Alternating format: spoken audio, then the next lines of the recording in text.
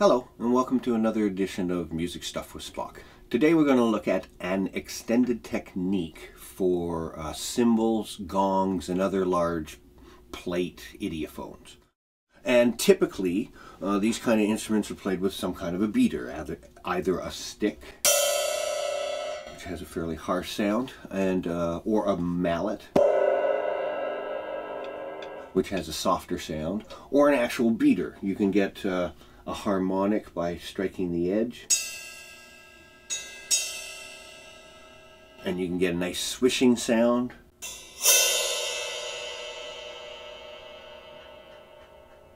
by drawing it across. And depending on the size of your stick, you can get a variation in tones. As opposed to, this is a chopstick. And then a barbecue skewer. And then there are brushes. But the technique we're going to be looking at today uh, involves water. Traditionally, it was done with a gong. You would lower a gong into, one person would lower the gong into a vat of water by, while somebody else is playing it. And it, this creates a glissando effect. I haven't done it since, so I'm going to take a look at that effect. So next thing I have to do is fill this up with some water.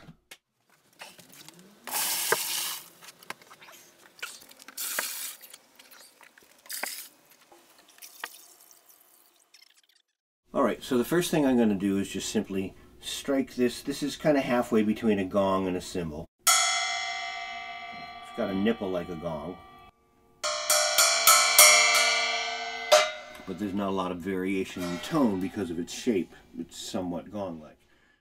Now, the theory behind what I'm going to do is when you hit a cymbal or a gong, uh, the vibrations spread out and then inwards and wherever it's vibrating in air, you get a particular sound. And so if we place it in water, then less of it is going to be vibrating in the air, and that should give us a glissando as I dip it into the water. So here we go.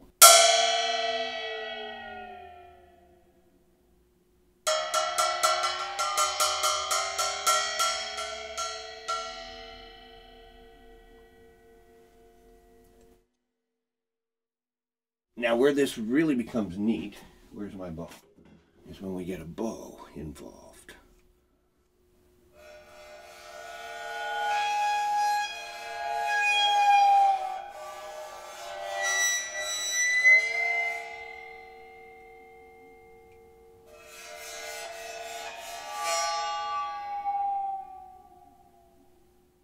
All right, now I want to try something with uh, well, I don't have a suspended cymbal, so I have a cymbal on a stand.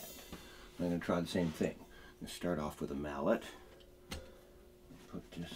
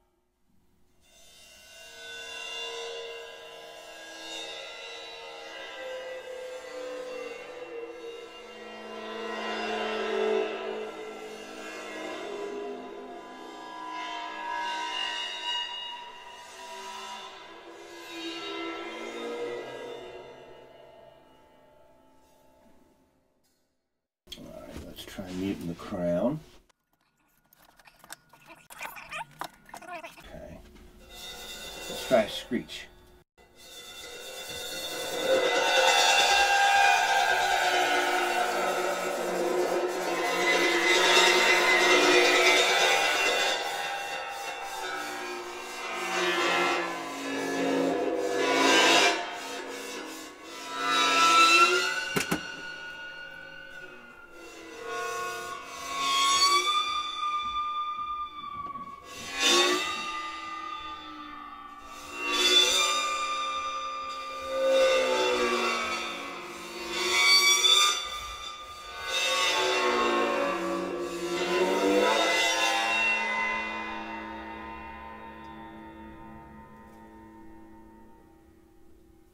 Now I've got this, uh, well, it's a busted cymbal.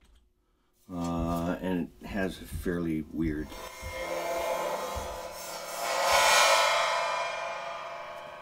sound. So let's see what we can do with this. This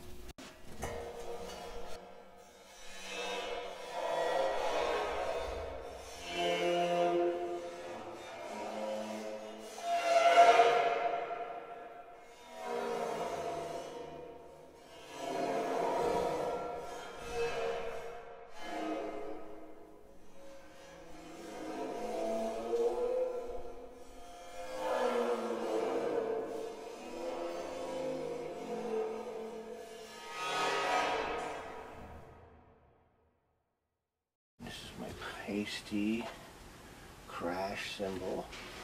Get a nice whisper tone on this.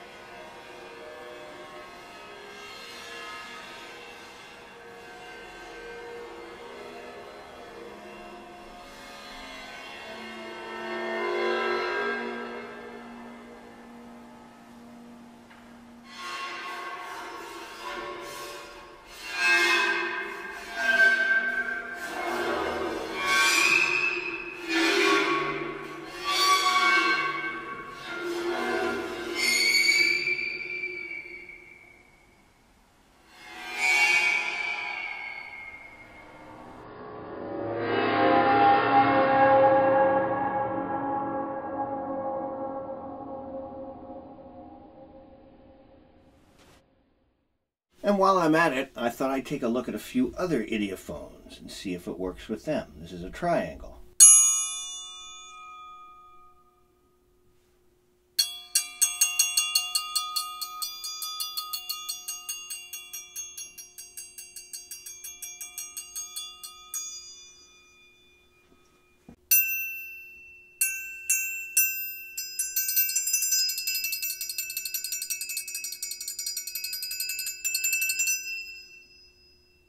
Wood block.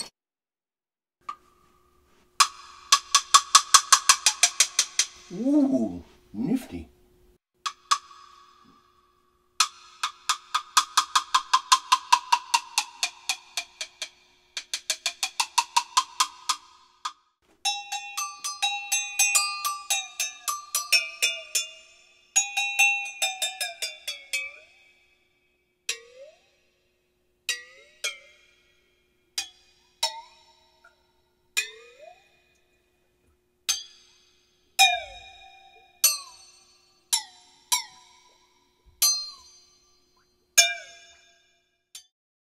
Okay, I don't recommend this one because I'm not sure if it's going to be good for my orchestra bells or not, but